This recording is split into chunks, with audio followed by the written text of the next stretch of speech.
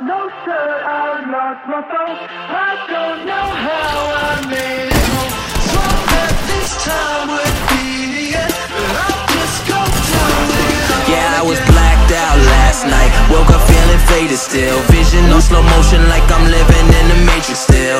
I poured a drink, I took a shot like how it made me feel. But I don't know how I made it home, I gotta keep it real. Mention